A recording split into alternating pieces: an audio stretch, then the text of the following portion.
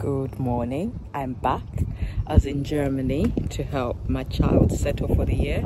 She's going to be out there for her placement year from uni.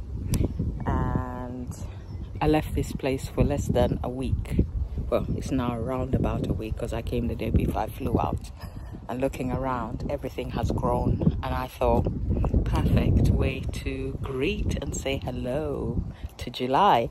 I was here to actually plant out some celtuce. So I've got this and I've got more at home. I've got loads. It grew really well, really easily. So I'm planting this out and I've got space to put it in. And then, and I didn't bring a tripod as usual. I just came because we're going out with hubby and uh, mother-in-law. So I thought, let me come and do a little bit of planting out and then I'll go home. But then I'm looking around, I'm like, oh, everything looks like it's put on a growth spurt and some more than others. And I look like I've got potential courgettes coming up. The courgettes have suddenly just gone boom. And I'm not looking at you because I'm busy looking at what I'm looking at here. So I thought, let's do a little tour. Why not? Hey? but hope you enjoy. Okay, we will start with a wide expanse look at everything. And obviously you can see my cone garden which is that space there, is looking absolutely fantastic. We've actually got uh, Swiss chard ready to harvest. I can see that the squash I put in there is looking fantastic as well. The beans have start have grown taller and they think they're going to be growing up further. I can see something I did not leave in my space. Oh, it's a tennis ball. So someone had a dog down here and it obviously decided that it was going to. I'm tempted to do some Kelvedon Wonder down here, but I'm worried that the mice will come and pick it. So I haven't brought it with me, but I'll think about it. If I decide to do it, I may come back later and do that. But let me start at the same spot so that we get used to how the allotment is. These are my onions, most of which have flowered. Some were shallots, didn't do well uh, the white onions didn't do well, but interestingly enough, something I've learned today is, well, over the last few days is, if I were I to take these off, these flowering heads, I couldn't take them off before because it was constantly raining. Then what happens is the onion continues to grow. Yes, it won't be a keeper, but it continues to grow and it will get bigger. So you look at this one here where I took off the um, the flower head as soon as it started peeking out.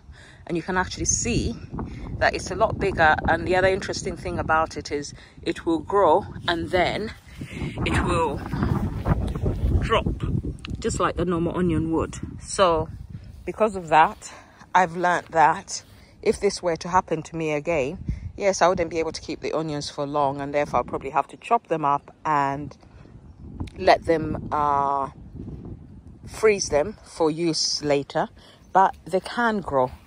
When you look here this is another onion where I actually took off the top and you can see it hasn't actually dropped yet. It's still continuing to grow. So there's a lesson for all of us. They will grow bigger. It's not necessary for us to pull them out immediately just because they've started flowering. Just take off the heads and keep looking out for other heads because some some of the ones I took the heads off of produced other ones because they're desperate to flower. But what I will do is I'll leave the remaining ones so that I can get some seed and then I'll grow the seed for next year. But for these ones I'll leave as they are. So onion bed will be empty soon. This bed was garlic and onion and we've got a few on brown onions left here and they're doing fine. I have no clue what my squash are but i've got squash there and a squash there which are doing absolutely fantastic now where before they were not doing much. And now we're going to walk up to the sweet potato section. The sweet potato did not survive well I'm grateful in a way, despite the fact that it wasn't so good for everyone else, that when I was away, it was raining consistently. In fact, today's supposed to be sunny, but already the rain is starting up again. Go figure. Uh, this has been our, our summer this year. But the sweet potato has put in a tiny little bit of growth. So that tells me that it's still hanging on down below and hopefully we'll get something else in there. that squash that I put in that corner there is doing fine. You're kidding me? Am I going to have to go back to the car? I am, aren't I? Seriously? Let me check the, let me check and see. There is no indication that it's supposed to be raining now, and yet it's raining. How ridiculous, eh? I need to have a word with the, you know, with the weather and see what's going on. The strawberries, they seem to be the ones that flower the once and then that's it. My everbearing haven't actually gotten to starting to fruit yet, so they're fine. It was hard for me to distinguish the pine berries which I put in, so I think I ignored them for too long and they ended up not producing. Something I found out from doing a bit of reading whilst I was away is that they need ericaceous soil. So when I mulch them in the winter, I will be putting down some ericaceous soil and for now I may actually I've ordered some iron sulfate sulfate of iron and I'm going to water them with the sulfate of iron in the hope that it will actually do what it needs to do for them and give me a much better harvest next year. Uh, I've also had a lot of slugs going for them. Uh, I, we removed all the sections that were harboring slugs except that now because we moved something here there are slugs around here. They like to hide in there and you see there's one just there. Okay so that is the strawberry bed. It looks nice. I'm looking from here. So here I've got uh I've got I've forgotten what peony which has not flowered. I don't know why it has not flowered. It's lived in there for this is its second year. The first year it barely grew. This year it's flowered. It hasn't flowered I should say but it's still alive so I've left it there. Have plans for this section here but for today focus is on I put in some more sweet potatoes. Uh, sweet potato slips in here because uh, I couldn't think what to put in here after I took the garlic out. So I put these guys in and they look like they're hanging on and surviving. So hopefully these were from the beginning they've grown a bit more in fact than when I put them in. In fact I only put in two and I can see a slip here which suggests that someone is doing some growing underneath there. Hopefully I'll get some good produce from this and hopefully we will have the weather that produces that. I mean go figure now the sun is back out. Thank you. I do appreciate it. Can you keep that cloud away from me please? Thank you. I would love some sun. It would help me feel more cheerful. Anyway back to what we're doing the peppers have been mullered and i mean totally and completely mullered. And but the good thing is they're survivors. Look at this one. Eaten down to the edge and look what it's doing. It's almost as if this trauma will help it to grow better. God willing if we get good weather we may get some peppers but i'm not too worried if we don't. You win some you lose some. I think my garden is doing quite fantastic. Despite all the trauma and the struggles that we've had i still feel like we're doing okay uh, we can't expect every season to be perfect. And if we do then we would not be gardeners because it would be too boring. At least for me it would be boring if everything worked perfectly every single time because then there's no problem solving. There's no purpose to the gardening because you just put everything in and it will grow. Where's the fun in that?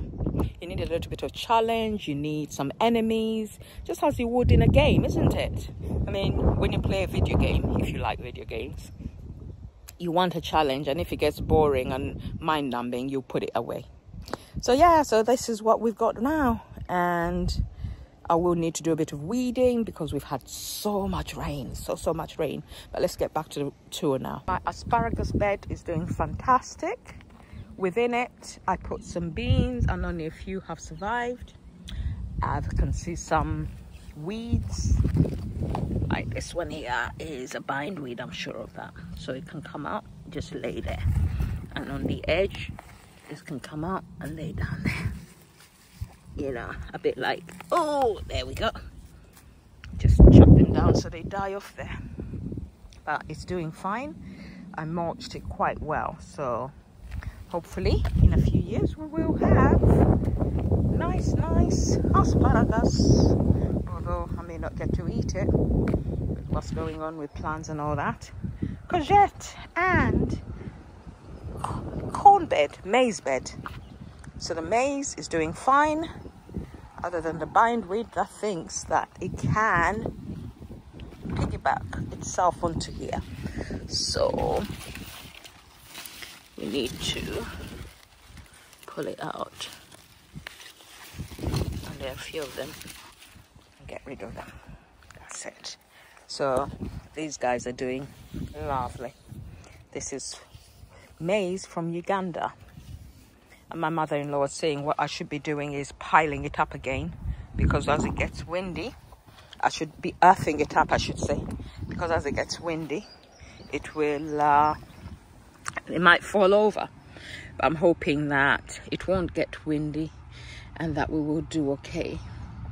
I've got some baby courgettes which have not been fertilized yet. Uh, I see the beginnings of male flowers. I'm not worried about it because this is how it begins. It begins with, uh, it's almost better not to have any fruit on the bottom half of your courgette. So it begins with either females or males only. And then as time goes on, you start to get the fertile fruit. So for me, this is absolutely fine. I love courgettes because they're so easy to grow. And this bed is doing really well. Okay, let's go down here and start on the right side, depending on which way you're looking. I really do need to weed because that creeping buttercup over there is bugging me. Right, at the front, we got maize throughout. And my plan is to just put a little bit of chicken manure, dig little furrows in between the the maize and uh, put in a bit of chicken manure and bury it. Uh, it's doing fine. Some of them are on the other side where I was are starting to produce a second uh, shoot of maize. In fact, some of them are going to have three or four. How fascinating. Uh, twins and triplet maize is what I've got. And then as I was saying here, my organic uh, slug pellets have actually worked because my beans are still doing fine so I'll need to make sure I put some more down before I go because I can see a few trails which uh, don't quite make it to the beans before the babies are gone. So I can't see any slugs but I can see where they've tried to uh, come and start attacking my plants and it has not worked so I am going to do some more cover protection so that my beans can actually grow. And once they start to creep up then I won't worry so much because the bottom half of them can be eaten if needs be. Okay we leave that and we go up to this bed which is my peanut bed. My peanut bed is doing lovely and it's got a few marigolds which are actually surviving the attacks. I think this is my patty pan and the patty pan so far hasn't done so well so I'm going to put a little bit of uh, chicken manure around give it a bit of nitrogen so we can have better leaves than that I, I uh, just as a risk taker put in a few cauliflower which are constantly being eaten but my hope and expectation is that once they they grow a little bit bigger just like this one here they'll be fine. And I also sold some carrots some of which have been eaten but I also have sections where they have survived. So we're in a position of you win some you lose some. From there we go on to my fantastic cone garden. This one you know the beans are supposed to be edible but because I have no clue how and when. I mean, look at this thing. It last time we looked at it, it was not so bushy, and now it's like it's like a mini forest. But the tops of these beans are supposed to be edible, and it also allows you to uh, get them to grow more and produce more. But look at the Swiss chard as well. I harvested it last weekend and we ate it before I went to, no, before last weekend we ate it. And look at it now. It's like there's almost no space for anything. and these beds were quite wide. Look at it. Have to look at it from all angles because now I need to show you that I put some beans in in the top here on the left. And then here I put some carrots and the carrots are doing absolutely fantastic which is brilliant because it was an experiment to see whether or not the carrots would grow there. Uh, I don't think the slugs and snails need to come this far up because they've got enough food down there. And so the beans are doing I mean the carrots are doing fantastic in there. So I should have probably done more rows but those will do. I could easily put another row there but we'll see. And look we got a ladybird in there. Hey hello ladybird. Hello hiding. There we are. Okay so this one is doing fantastic. We got the leeks down here my first time growing leeks and they're doing fine as well. I've got some Swiss chard in between and the Swiss chard is doing fine. Can't complain really. This has been a very successful bed on the other side of the cone garden we have a squash plant. I have no clue what type of squash it is. I'm hoping that it's a bush one.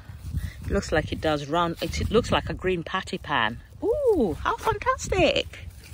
I was so worried that all my patty pans had died and now look I've got a green one here and I'm assuming the other one must be a yellow one. So they grow as a bush so I'm not too worried. It should be fine in there and it's doing fantastic. Brilliant brilliant brilliant. Okay.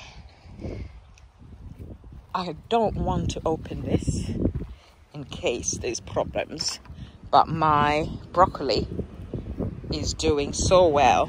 Let me see if I can actually get you in without opening it up for greater risks. Hold on. This is my broccoli. When I left it was so tiny and now it's growing well. And on the left you can actually see the Savoy leaf cabbage and it's looking good as well. So I think we've done well here. I am very very happy with how everything in there is growing but I have seen some butterflies around so I'm not willing to risk getting any of them into there which is why I am consistently keeping this covered to protect my babies and make sure no one can get in there to start eating them before I have eaten them. If we go this way, I'm hoping that you can actually see it because there's less net here. It looks good, doesn't it? Oh gosh, it does look good. It's very good even the Savoy leaf, I can see a little bit of uh, a bindweed in there. So the next time I'm down, I'll go in and I'll get rid of it. So what I do is I go in occasionally and just remove the bindweed and then that's it. I close it off again. I wish I had all in one net which can fit it perfectly, but it still works. And it's working well enough that I'm not worried about it. So that's really good and then we go up and look at the tomatoes. The tomatoes are doing lovely. Some of them are fruiting and creeping. I think this is a honeycomb which was left over and honeycomb seems to grow very, very crazily profusely. I am not impressed with the flavor of the honeycomb and I'm sure there are some of you who are probably gasping right now because I say that but honestly the sun beats it hands down. So for me I will not be growing a honeycomb ever again because the taste is not as good. Uh, the other ones the what are they called? Blight proof tomatoes are growing but they seem to be slow growers and I don't know whether or not they're meant to be shorter because even at home okay maybe not so much now because I think this is the buffalo and it is grown quite a lot. I think that might be another honeycomb from the rate at which it's growing. Uh, I know that I had a Fantasia and a Buffalo. I think these may this one may be a Fantasia and another one may be a Rose Crush because they're growing really slowly at home. But as you can see I'm trying the Florida weave this year to see how well I can actually hold up the plants in order that I can let them bush out without them creeping along the ground and risking disease. the other thing i'm wanting to do is i'm wanting to cut off some of the bottom leaves in order to maintain airflow through and to avoid disease because last year the tomatoes I planted down here all ended up with uh, what's it called blight which is why this year one I changed the location and two I bought the blight proof the blight proof tomatoes in order in the hope that I can actually get some produce from the ground. So I think we're doing pretty well at the moment aren't we? Look at all those tomatoes. I've already started harvesting tomatoes at home. Uh, the beans i put here are being tortured by the slugs and the snails. But i didn't put them in with a plan to harvest. I just put them in and obviously because i've got uh, what's it called? I've got raspberries over here. Everywhere i look i'm constantly getting little babies trying to creep up where they should not. The raspberries are doing fine. I'm loving the fact that I've now got a smaller section for harvesting. It will be more manageable for me. Uh, it's also easier for me to get in underneath and get to that bindweed that you see creeping up the plants in order that it, they don't get strangled by it. Because all I do is I follow it down and then I just kill it off by pulling it out from the bottom. And then I leave it to uh, die off on the plant, which it doesn't cause any harm. We are starting to get uh, some raspberry harvests ready. Oh my gosh, look at that! my mum-in-law will wish that she was here because she loves these. And she was complaining last time that there was only a tiny little bit of it. So, let's see. Ready. Lovely. Mmm. Yum, yum. Mm-hmm. I shouldn't start eating these now. Because once you start, you cannot stop. This one has already been eaten by something. So it goes on the ground. But look, there's one that's perfectly ready in there. Oh, let's get it. Nice. so yeah so we'll be harvesting raspberries soon and they'll be delicious as usual. Right. This is me. Oh yeah let me show you something. This is a te berry and the truth is i don't like it. I tried some of the fruit and it wasn't to my liking. It's not amazing. It's not wow. So in the coming season, my plan is to remove it. And it takes up so much space. I mean, look at it. It's spread so far that I can't, I, my aim was to be able to go through here so I could keep this area tidy and weed free. But as you can see, this friend of ours has leaked through. So I'll cut it back with a saw and then dig it out when I have time. But for now, it's a definite no-no for me. And then when I've taken it down, I'm probably going to put another of these beds. I'm tempted actually to put another square foot bed there and another square foot bed here. But unfortunately, because the ideas in my head about my future, which may mean that I might not be here. it makes me want to cry. My garden. But it is what it is. So yeah, because of that, I do not want to invest much more in way of money on this space, which is sad. But it is what it is. Oh yeah, I forgot to show you this little tomato here. This tomato was uh, being bugged by uh, what is it called? Aphids, which were being farmed by the ants but I managed to sort it out. Uh, did a bit of neem. Seems I've done the trick. And now it's growing well. I think it looks like one of the banana like tomato plants. so based on that although i don't know whether it's a banana leg because the tomato block seems to have this pointy little end to it and some of the tomatoes i grew don't have labels anymore so i have no clue what tomato that is but it's looking good okay time for me to get on and plant out my uh, uh what are they called celtuce this is my first year growing celtuce and I don't know how well it will do. I'm thinking that I might put some of them in that area next to the sweet potato and hope that if the sweet potato takes off, it will not take over. And then I could also put them over here. I think I like the idea of putting them there. So maybe they will go there next to the, uh, what's it called? They've got a long growing season to get to what I need them to be. So I might put them next to the beans. I think my new habit when coming to the allotment should be to carry, to be optimistic and carry something. Because look,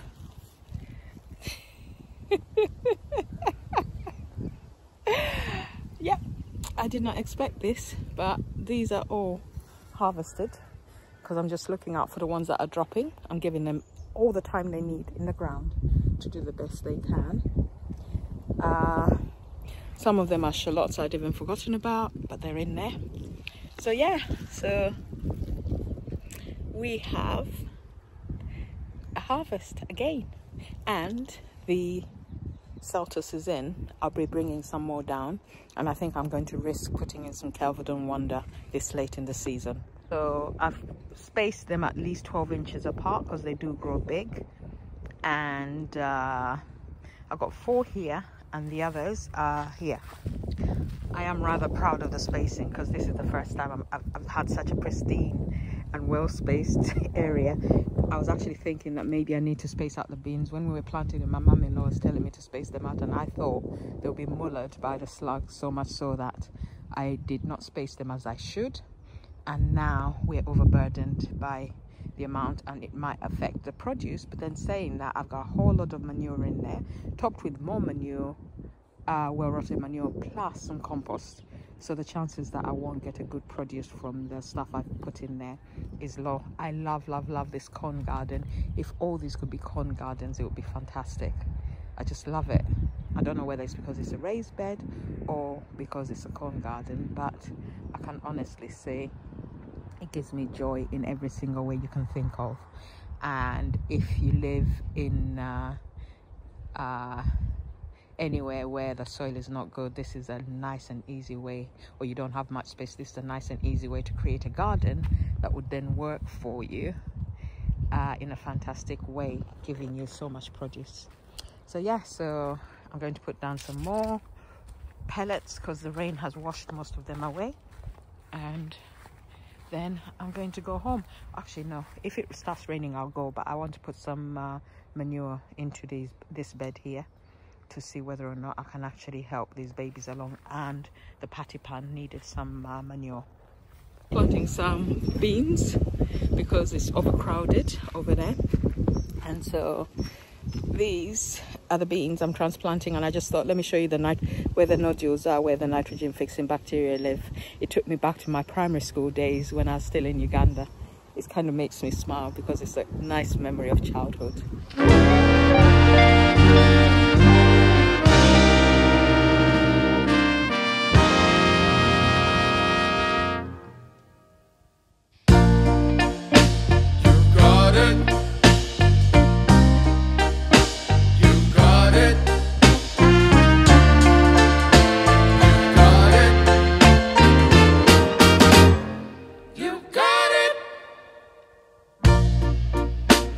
know sometimes life can be tough.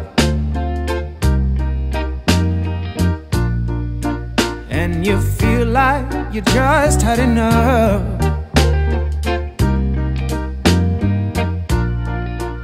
When you're thinking everything is gone wrong. Just remember that I'm